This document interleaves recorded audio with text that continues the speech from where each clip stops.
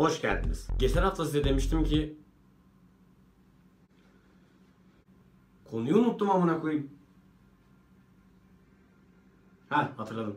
Geçen hafta size demiştim ki cümleyi devam ettirin. Ben o kadar garibim ki. İşte yazdıklarınız. Valorant oynuyorum.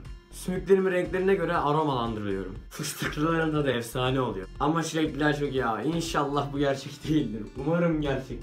Evde boş boş bağırabiliyorum. Güzel yetenek. Anneni kontrol et. Anam beni istemedi. Kuzenim götüyle iPad'ini kırmıştı. Kim o acaba? Yumuşak G'ye hır diyorum. Proteinli süt bağımlılığım var. Doktora görünsen iyi olur.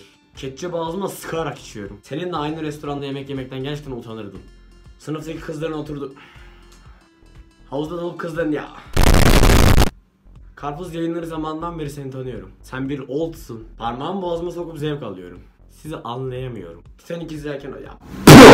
Klavyemdeki tuşları yalıyorum. Gerçekten çok garipsin. Senin kanalına aboneyim. Tahmin etmeliydim. Mutlu şarkı dinlerken ağlıyorum. Mutsuz şarkı dinlerken üzülüyorum. Bir psikoloğa görünsen fena olmaz. Cevaplarınız bu kadardı. Bir dahaki konuyu Instagram'da story'de belirttim. Açıklamadaki linkten story'me gidebilirsin. Görüşmek üzere.